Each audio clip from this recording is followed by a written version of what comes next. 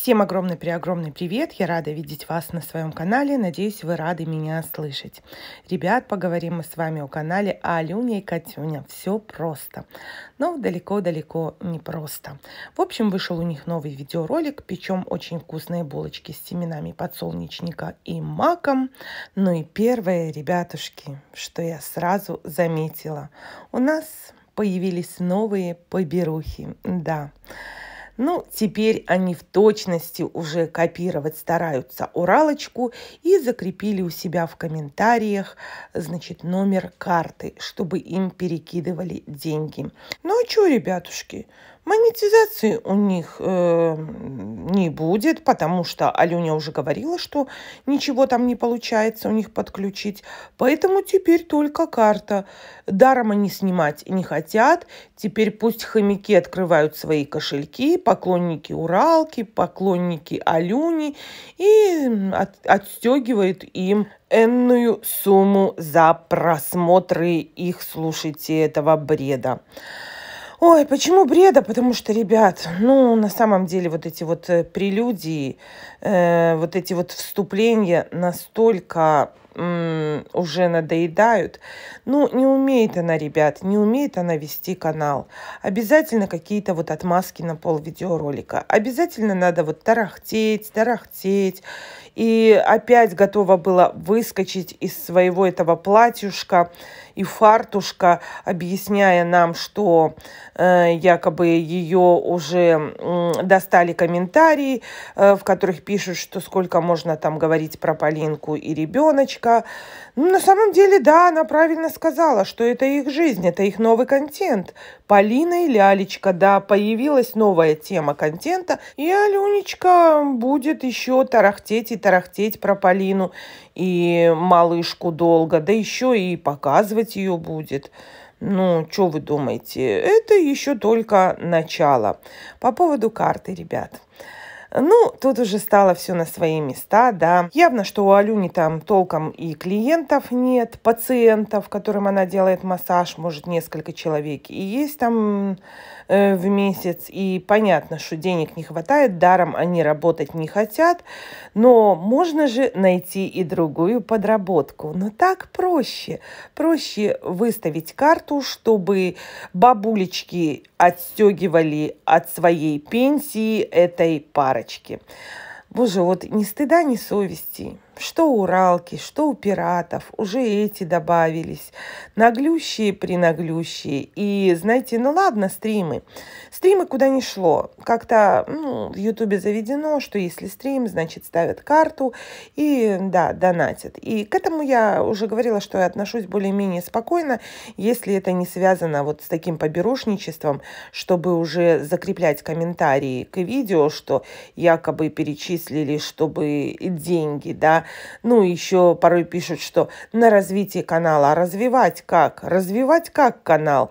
Покупать подписчиков, комментарии, э, покупать рекламу. Ну, какое развитие? Понятно, что развитие э, финансового положения семьи, вот это да, но никак не канала. Ну и дальше, ребятушки, Алюня, походу, посмотрела мой видеоролик. И да, услышала замечание в свою сторону по поводу кювеза, что называется кювез, а не этот, да, как она говорила, колпак или что она там говорила. И уже опять выскакивает из себя, готова из одежды выпрыгнуть, доказывая, что все она знала, все она знала. Да ничего она не знала. Такой вот она медик, что она элементарного не знает, а потом готова выскочить из своих платьев, халатов, чтобы доказать обратное. Ну и по поводу шкодная тоже, ребятушки, тоже. Ну, Олюшка, ну ты не придумывай, что у тебя пишут. Ну, хватит уже сочинять, хватит врать. Уже такая сказочница, уже хуже Уралки становишься, честное слово. Так и скажи, что у Вишенки услышала по поводу шкодная. Ну, не знаю, как там у них на Кубани и вообще в России говорят относительно шкодной и шкодник нашкодил. Ну, у нас в Беларуси это означает очень вредный ну, вредный. А как в России, не знаю. И поэтому меня очень возмутило это слово «шкодный». Думаю, ну как же может ребенок родиться и еще в кювезе находиться и уже быть шкодным? Ну, в общем, как-то так. Ой, ребятушки, а дальше я прямо рассмеялась, как она заговорила моими словами, что каждый человек живет по-разному, якобы все мы разные. Ну, конечно, Алюнечка, ты уже прям мои слова все заучила, ты уже моими словами начинаешь говорить. Ребят, правда, мне так так смешно в последнее время на нее смотреть. Вот как-то я э, стараюсь себя, э, наверное, перенастроить, чтобы не а, эмоционально воспринимать э, Алюню нашу с Катюней, а правда смотреть как э, юмористический сериал. В общем, ребятушки, 6 минут была прелюдия как-то не очень длинно. Бывало по пол видеоролика. Поэтому, ну ладно. Здесь уж больше она мне отвечала, нежели кому-то. Поэтому я ей это прощаю. Ну а дальше уже про булочки. Пока Алюня замешивала тесто, она попросила Калюня за кадром поздороваться. Ну, потому что он уже был в халате, и Прям такой стеснюлька, стеснялся показаться. Ну, Калюня поздоровался, да, всем привет, пишите комментарии. А Алюня тут же похвасталась, что комментарии просто замечательные, просто там идеальные, да, Алюнь, потому что все негодные комментарии вы чистите тут же. Да, Калюня у вас хорошо работает дворником, а после работы душ принимает и одевает халат.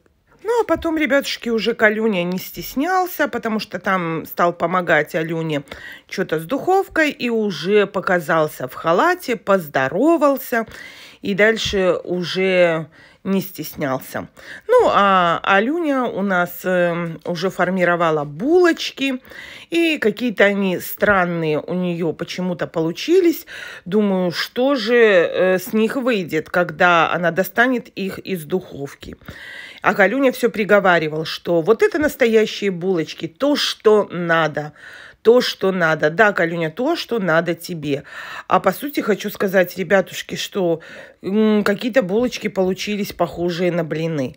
Я понимаю, булочки должны быть пухлые, которые, знаете, такие пышные, а у них по противню растеклись они и стали похожи на блины. Ну, Алинушка нас показала, что такие красивые булочки, да, э, вот такие вот получились, и что, конечно же, они намного будут вкуснее, чем булочки из магазина. Ну и опять там вышло у нее аж два противня. И, наверное, потом опять скажет, что и брату занесет, и Колиным родителям, и Полинке. Ну, мы знаем, что Алюня у нас тоже любит сладенькое, она сама об этом говорила. Но, знаете, хоть не отмазывается, что она не ест, как Уралка. Эта Уралка у нас обычно говорит, нет, все сафарику, все сафарику. А это спокойно говорит, что на диете она не сидит, она ест, ест, и жареное, и сосиски ест. Кстати, показала Семена. Показала, наверное, мне, да, что кормит прям с рук. Алюнь, ты меня не убедила кормить кота сосисками, до такого красивенного кота и сосисками, вон у меня прям на экране похожий Семен, то это я уж не знаю. Ешь ты сама эти сосиски. Кот должен есть кошачью еду, а сосиски – это не еда, а отрава котам. Я даже на улицу сосиски котам не выношу. Только могу в экстренном случае, если вдруг у меня закончился корм, и я понимаю, что кошаки останутся голодными, только тогда. И в основном это больше ливерка, нежели сосиски. А светофоровскими сосисками кормить кота – это только на погибель. И я понимаю, почему Семен такой худющий. А вообще, ребят, ну, видеоролик же ни о чем. Как будто никто не умеет печь булочки. Как будто все такие безрукие, не умеют этого делать. обязательно надо пойти на канал Алюни и Катюни, чтобы посмотреть, как нужно правильно замешивать тесто, как правильно печь. А в итоге там не булочки получились, а блины. Ну, в общем, мои хорошие, как-то так. Ну и на Ютубе у нас появились новые поберухи, да, новые поберухи. И удивительно, что она не сказала про номер карты, не отчиталась, зачем прикрепила в комментариях. Раньше же, по-моему, у нее был номер карты только в описании канала. Ребятушки, я буду заканчивать. Пишите, что думаете вы по этому поводу. Оставляйте свои комментарии, оставляйте свое мнение. Я хочу напомнить, что это лично мое мнение, и я его никому не навязываю. Каждый вправе думать по-своему, потому что мы с вами все разные и воспринимаем ту или иную информацию тоже по-разному. И это нормально.